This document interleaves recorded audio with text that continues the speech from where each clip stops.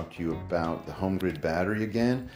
Um, you've seen it in my power shed here and what I'm doing today is I'm going to build it from the bottom up and then install it onto 12K Sol-Arks, close loop it, and do go through all the, the steps. The one thing that I I changed just because I like to be able to move the batteries just a little bit into their final position so casters are extremely helpful. So what I did on this one is I put, I found some casters that were able to hold 1200 pounds and I just bolted them to the bottom of the, the HomeGrid's base. So pretty easy and these had locks on them. So it's pretty stable and I'll be able to test that once I have the whole stack built. Okay. So, and they're locked now. So it's, it's not going anywhere. So we're going to go ahead and um, build this thing up. All right, so the HomeGrid battery is pretty cool in the way it stacks up. Yeah, it's good. So you just, uh, this is the connection between the, the batteries. You have a breaker on the side. That's how you turn it on and off. And set dip switch settings.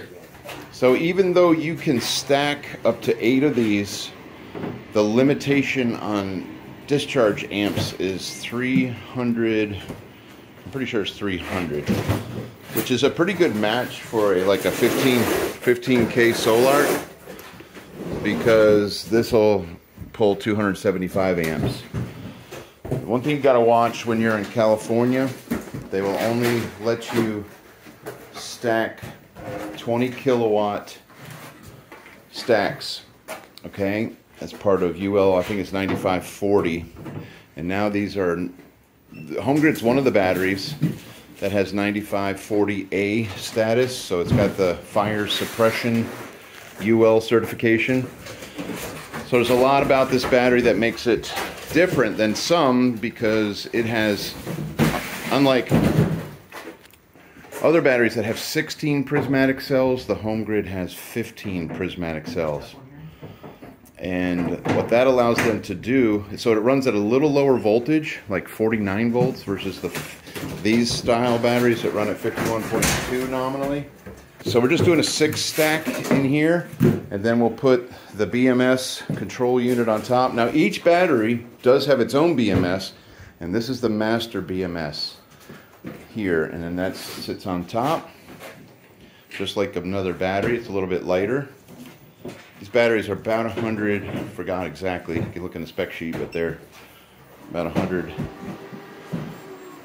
pounds each. So that's the stack. It's a very nice looking battery. Again, we've taken it apart. We got some fingerprints on it, but it's a super clean looking battery. And now I can move it. So this is what I was after. The ability to move this thing. So I'm going to take the casters and unhook that one and that one. And now I can move this thing around. Whew, what a difference. Now that might not be a big thing to you, but as an installer, just being able to work on it, get to everything, make sure everything's good, put it on some casters that will hold the weight, and now it's easier to work on. And then once you've got everything because this is the area you're going to spend most of your time. And if this is out of the way and hard to get to so making the dip switch settings on all you're going to start with the top battery and go one two three four five six with the dip switch settings. All your breakers are here. And then working on your positive and negative connections. Being crammed in a corner and is not where you want to work on this thing. So once we get this battery together the way we want it then we'll just push it in place with the home runs and you'll see how that's going to connect to the 12Ks.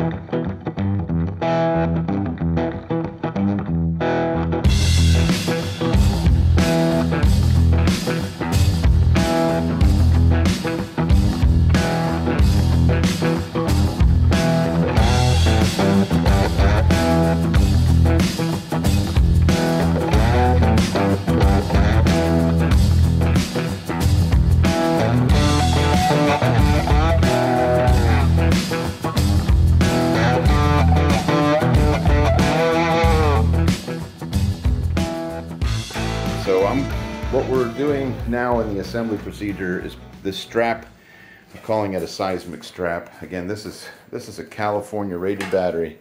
If it'll work there, it'll work anywhere.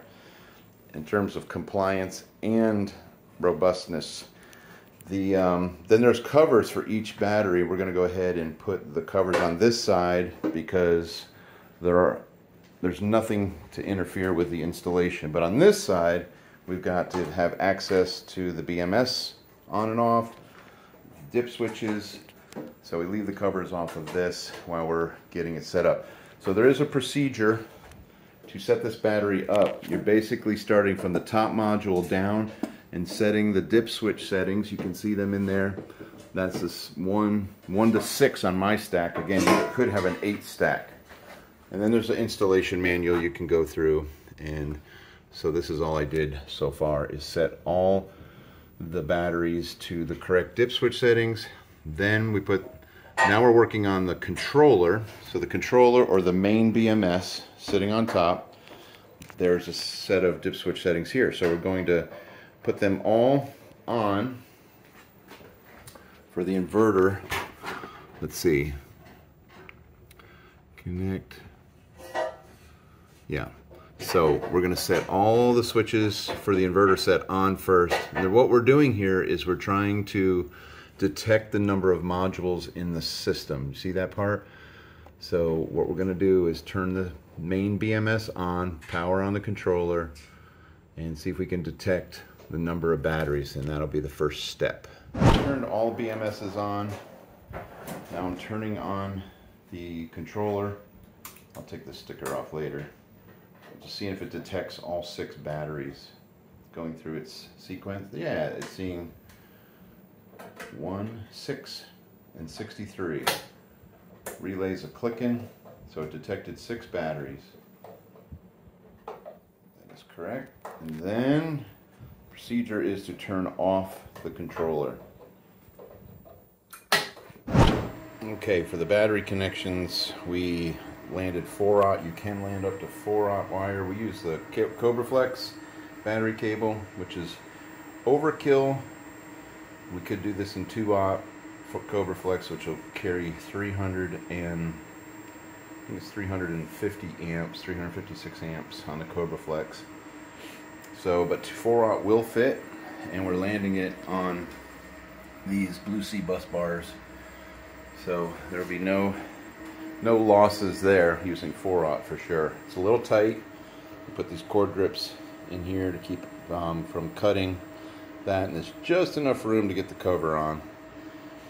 So 4-aught will work if you orient your cables this way. Alright, we are hooked up now. What we're going to do now is work on making sure that we can communicate with the Sol-Ark through the CAN bus. So when you're connecting to a Sol-Ark 12K like we are, this is the pinout for the CAN connection. It's uh, 7 and 8 on the battery side and 4 and 5 on the 12K side. So what we'll do on the master is connect in here to the mod, the CAN bus battery connection. You can see that there. This one didn't quite reach, so we're going to use a little coupling. And then we'll have a cable that will plug into the CAN on this side. All right, so we've connected the HomeGrid Stack Series to the Sol-Ark 12Ks. And not only did we connect them electrically, we connected the comms as well. So we made up a cable that connects, there's a battery integration guide in the Sol-Ark. We got this labeled nicely. This is the HomeGrid side, goes into the CAN bus and then in the battery on the master inverter into the CAN CAN bus for the battery.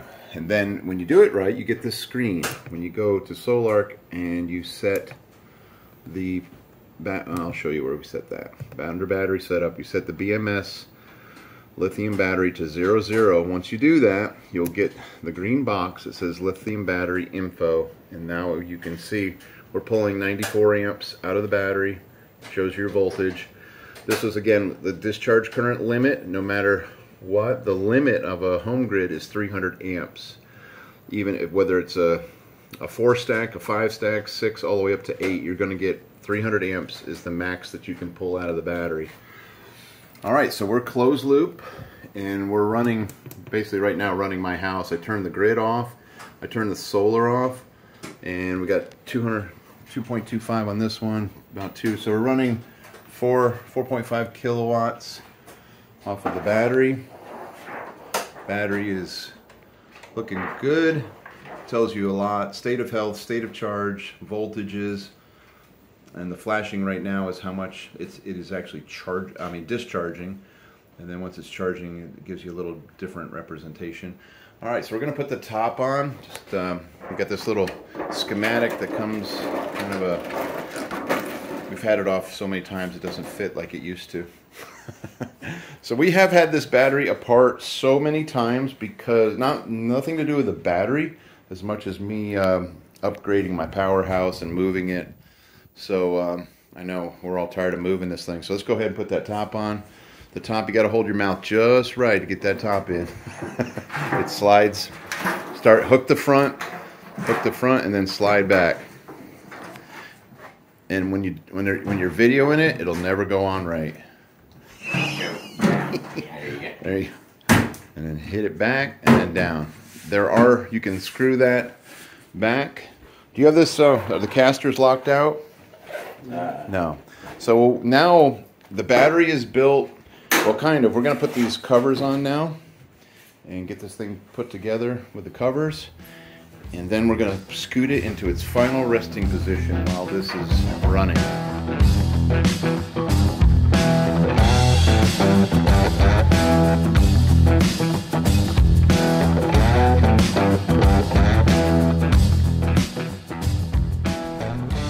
Okay, final position of the HomeGrid battery and fully integrated into the Sol-Arks.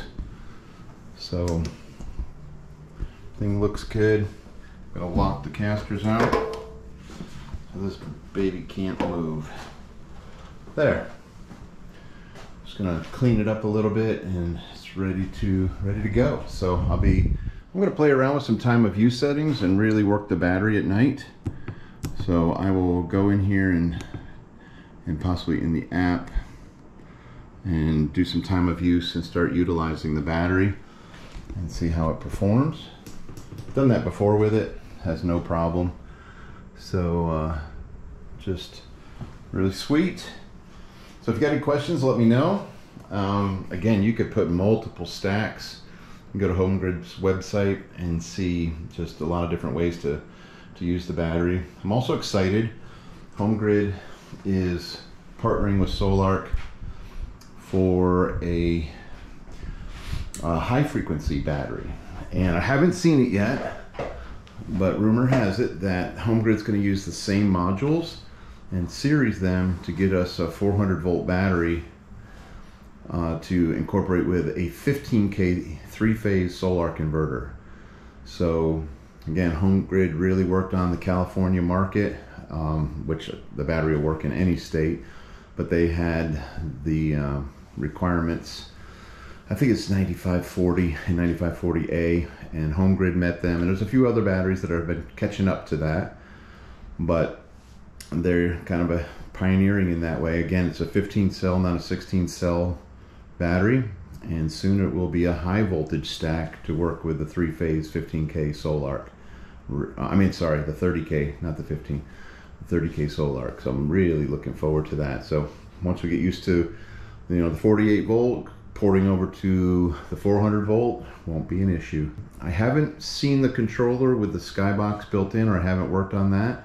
I might ask to see if I could get a new controller and integrate it with with these batteries and um, and go with that. I have some other modules, some of the first gens. I'm going to see if I can also incorporate those into this stack and do a full eight stack. Anyway, a lot of options with the HomeGrid. It's a super clean, super tight, compact amount of lithium for the space. So that's another thing. Space requirements. It's a lot of uh, a lot of a lot of energy in a small package. So, all right. Any other questions? Let me know. Engineer 775 signing out.